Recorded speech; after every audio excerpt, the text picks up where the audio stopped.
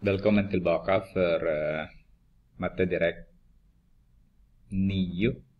Eh, kapitel 3 skulle jag introducera i den här videon då. Eh, kapitel 3 handlar om geometri och uh, egentligen det är nästan bara repetition för uh, årskurs 8. Matte Direkts 8 uh, nivå då. Men lite, de har lagt lite bara. Så om du kommer ihåg vad du har gjort i åttan så kommer du att klara den här, eh, det här kapitlet också väldigt, väldigt bra.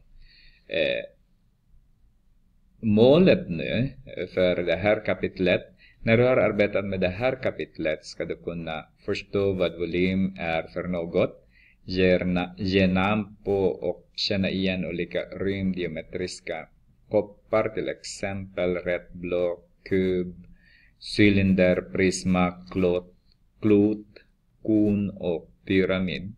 Det var många namn där. Eh, använda olika enheter för volym. Beräkna volymen för rätt block, cylinder, prisma, kon och pyramid. Eh, beräkna arean av en begränsningsarea eller yta. Förstå area och volymskala.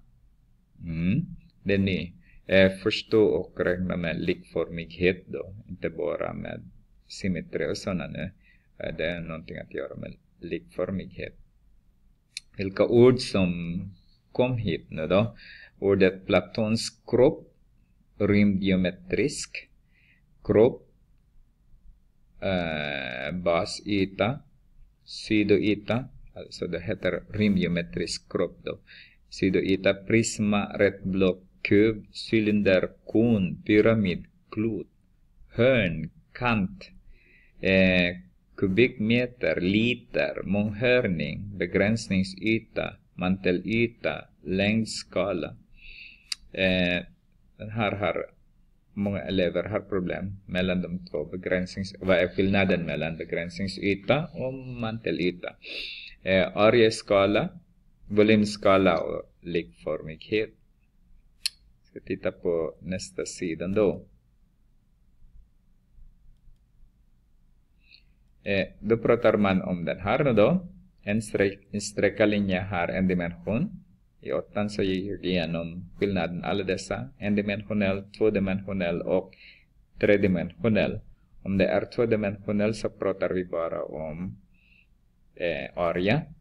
Om tredimensionell tvådimensionell menade jag och tredimensionell så pratar vi om volym. Om det bara är en sträcka så pratar vi bara om längden. Och sen har vi platonska eh, kroppar här. Eh, de är regelbundna.